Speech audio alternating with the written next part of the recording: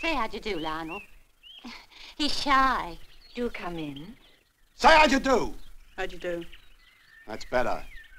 Oh, you have no idea, mate. The struggle I'm having trying to turn him into a flaming gentleman. Well, come on, come on. We can't stop long.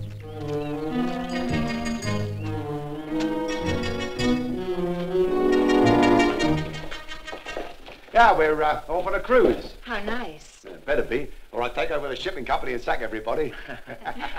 Would you like to see Lionel's room, Mrs. Rockbottom? Oh, yes. we haven't got time. It doesn't matter then. I'm sure it's all right. Well, of course it's all right. They advertised in the Times. Here, cop hold of this. Oh, thanks. But you don't have to pay in advance, you know. Well, that's not payment. That's my boy's pocket money. Of course. I don't stint him. No, I won't. I don't want any perishing princes lording it over my boy. Anything he wants, let him have it. Right. Yeah. And if he gives you any lip, let him have it. yeah. right, let's go. Goodbye, dear. Have a nice time. Oh, Harry, let's take him with. I've told you a dozen times, Lil.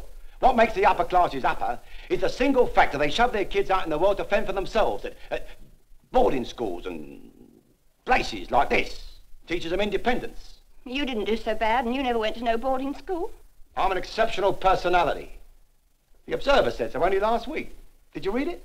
Uh, no, I, I didn't. Oh, really. oh, ready for a scrap, they call the article. Scrap. Scrap metal, see, that's what I deal in. Uh, uh, and scrap means I'm always ready for a fight. Oh, it's clever.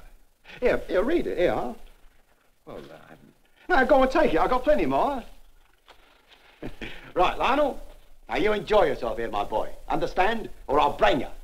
Yes, Dad. Well, come on, or the boat will go without us. Oh, come on. So long. Oh, goodbye, Mr. Rock. So long. Uh, goodbye, Mr. Rock. Bottom. Remember, enjoy yourself.